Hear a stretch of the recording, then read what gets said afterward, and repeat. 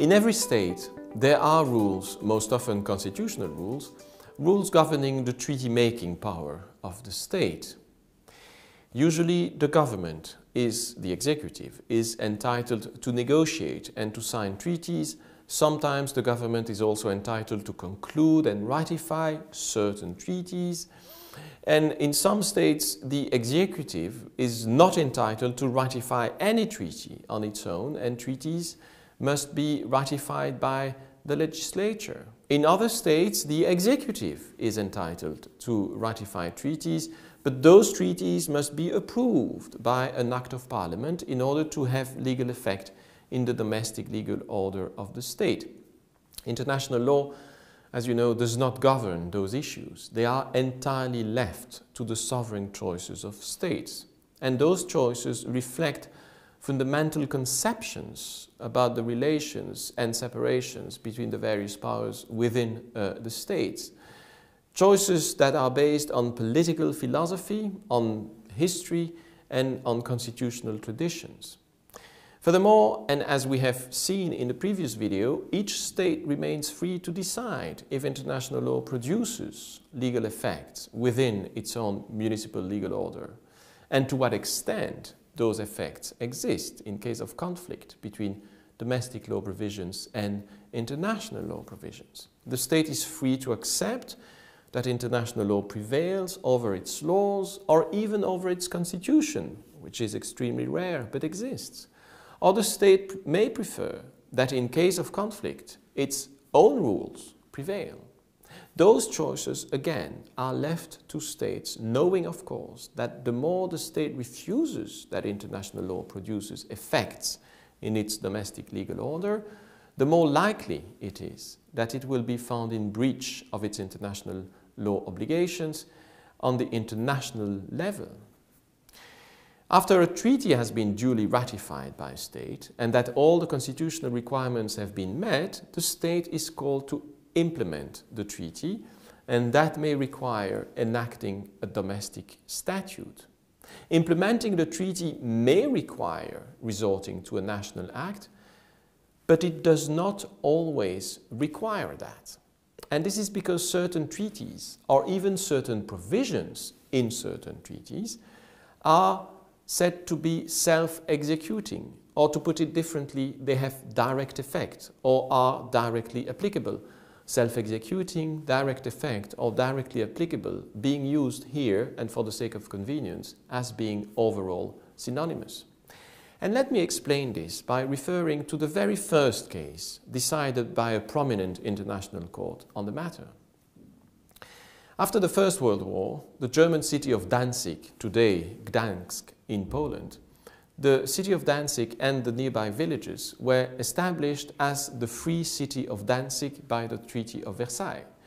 The Free, treaty, the free City uh, had a very special status. It was separated from Germany, but it was not incorporated into, into the newly independent uh, Polish state. The Free City was not an independent state as such, but was put under the protection of the League of Nations. It formed a customs union with Poland, and Poland received the right to use the port facilities and organize the, rail the railways. Some railway officials of Danzig who had passed into the Polish service had pecuniary claims against the Polish Railways Administration on the basis of what, what, what was called in German the Beamtenabkommen, that is an agreement about those officials that had been concluded between the Free City of Danzig and Poland.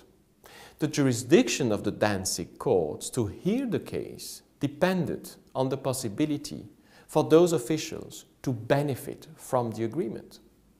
Poland argued that the Danzig officials had no right under the agreement because the agreement only created rights and obligations between the contracting parties, that is the Free City and the Polish state. Poland argued that in the absence of any Polish implementing legislation, the agreement could not be applied to the benefit of individuals and that Poland's possible failure to implement the agreement and to legislate for that purpose could only trigger the responsibility of Poland vis-à-vis -vis the Free City of Danzig.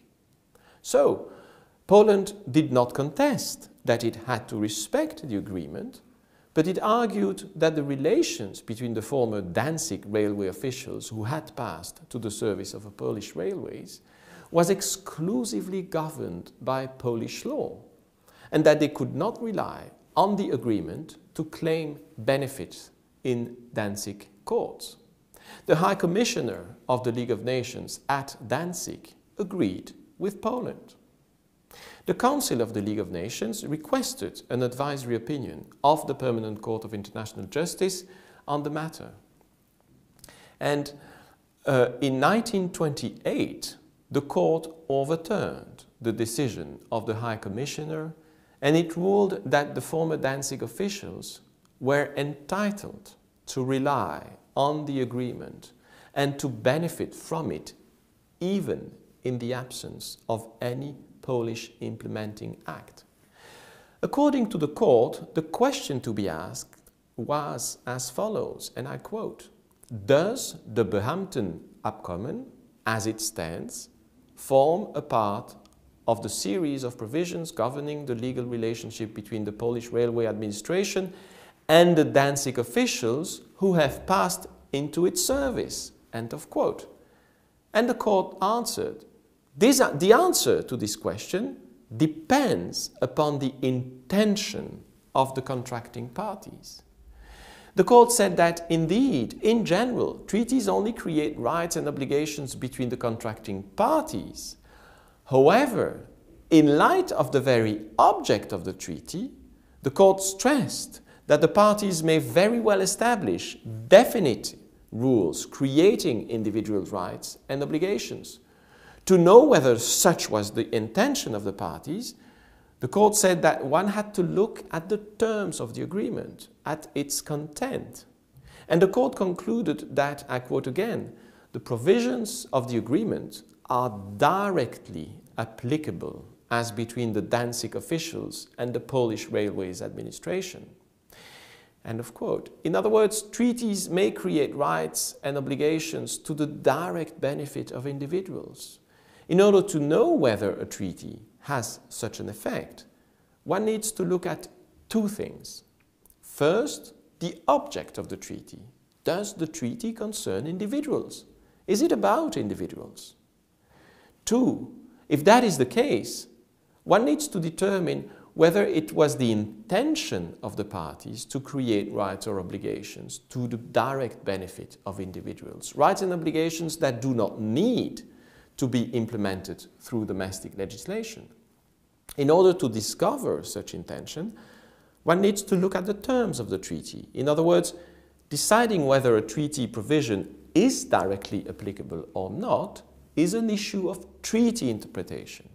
If the terms of the treaty are sufficiently clear, precise, and unconditional, courts will most likely consider that the treaty does not need an implementing act in order for individuals to directly benefit from it. The treaty provision will be considered as self-sufficient, as having direct effect, effect. For instance, it is not the same thing to write in a treaty the death penalty is abolished or to write, the high contracting parties will take the necessary measures to abolish the death penalty in their respective criminal legislation. Under the first and con concise draft, one could consider that the provision is self-executing. The death penalty is abolished, and it does not require implementing legislation. And this is not the case of the second draft. It calls for implementing legislation.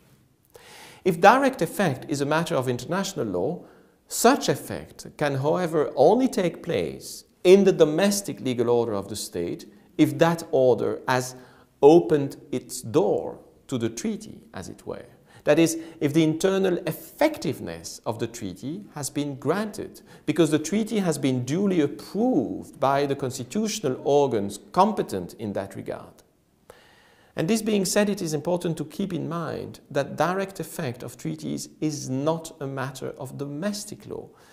The issue pertaining to domestic law is whether the treaty has duly entered into the domestic legal order.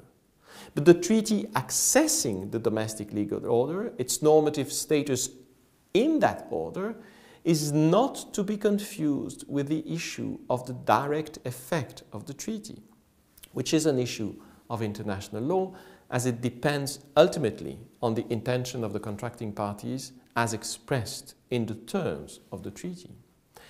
Direct effect of treaties is now a well-established issue in human rights treaties and in many other treaties, and it is a central feature of the law of the European Union. It is a daily issue and hundreds of cases of international or domestic courts could be quoted to illustrate the concept and its application. Direct effect plays an important role in the relationship between municipal law and international law because in some legal orders, the primacy of international law over domestic law, which is a domestic law issue, in some legal orders, uh, that primacy is conditioned upon the direct effect of the treaty provision. That direct effect is, as I just said, an international law issue.